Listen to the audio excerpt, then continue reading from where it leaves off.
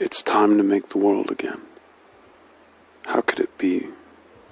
that this world keeps on with its roaming, its lostness, its sweetness, its cruelty, its little loves, its big dramas, its actual flowers flowering, its potential flowers failing to flower, its generations of beautiful youths pouring toward decay and isolation, its rivers of confusion wider than lifetimes, its masterful infantile gelatin that binds days, its echoes of long drowned rituals, its web of destinations as broad and inflamed as the visible stars, its entities, its connections, its unity can it be?